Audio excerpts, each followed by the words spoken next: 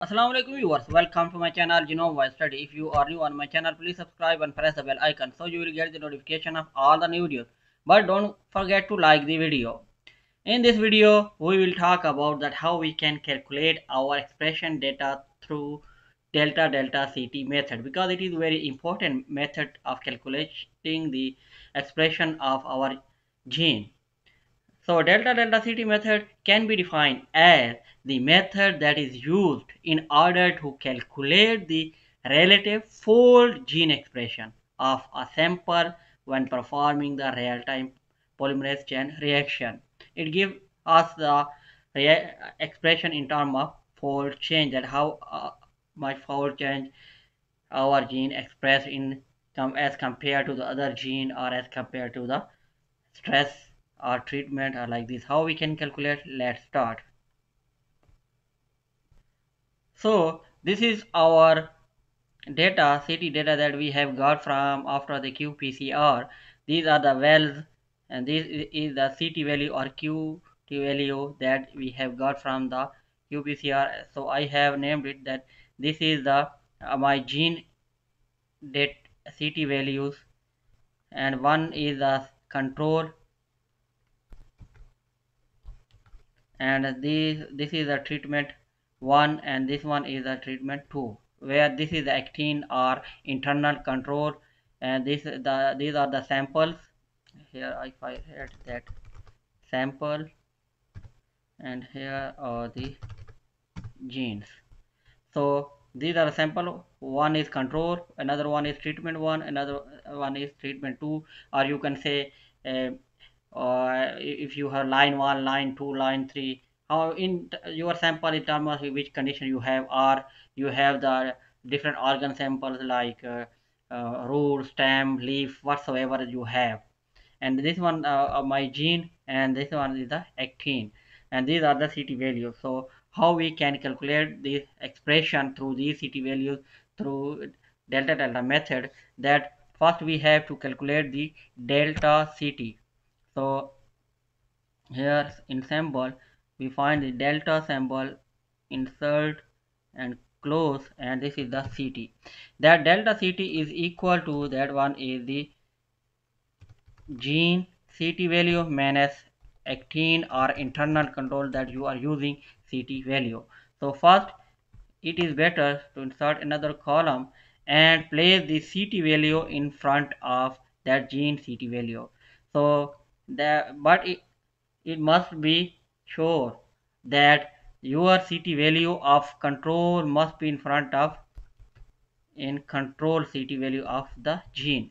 And the treatment 1 must be in front of treatment 1 and the treatment 2 must be in front of treatment 2 now you can calculate it minus it is equal to the CT value of the gene minus CT value of the actin and then drag it. Now we need to calculate the delta delta CT value means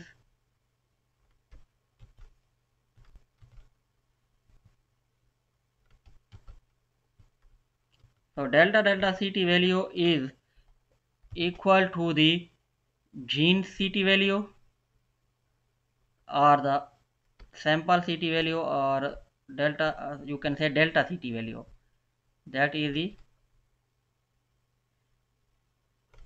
delta CT value minus control average control average delta ct value. It means that we have the delta ct value this one but we didn't have the control average delta ct value. So first we need to ca calculate the control average of delta ct that is this is our control sample. These are our control sample so we can we will highlight it into another color. So we need the average of this delta ct so is equal to average and take the, these three values of control. So now here we must minus these values. So is equal to the actin value minus this is equal to delta ct minus this. Average is equal to delta ct minus this. Average is equal to delta ct minus this. Average is equal to oh, sorry minus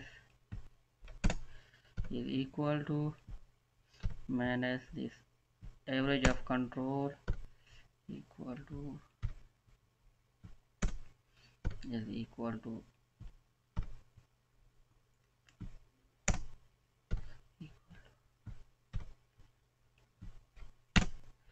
so we have got this delta delta ct now we have to calculate its expression. That one is 2 power minus that delta delta ct value. Copy. So here you can is equal to 2 power minus this value. And then drag it. Now you can take the average of this one. So relative expression so is equal to average. Here it's like the average okay. And then take this average. And now sorry. Copy and then take it in front of this paste it. So it will automatically select these three values of and then take the average. Copy and then treatment this.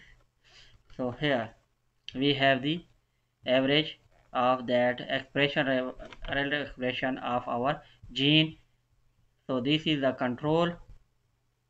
This is the uh, treatment expression at treatment 1 and expression of treatment 2 so you can say here that control treatment 1 treatment 2 uh, here you can write the gene and here you can standard deviation and select copy paste special.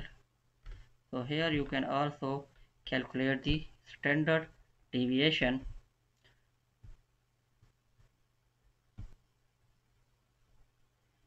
Of these three value here you can again.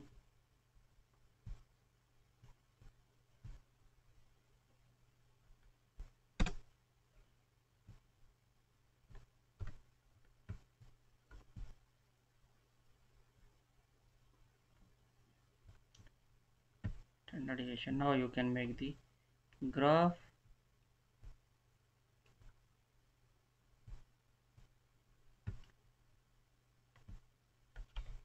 delete it.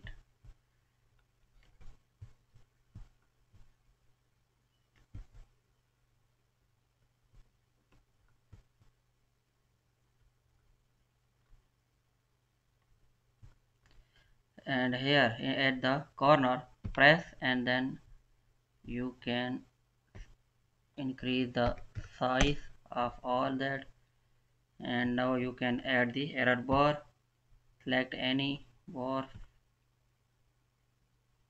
layout error bar more options plus customize specify values. Select these standard deviation okay close. So here. This is our the gene and expression data that in control and these are the expression in treatment. So in this way you can calculate the expression of your gene through delta delta ct method hopefully it will help you. If you have any query don't forget to comment like and share. Thank you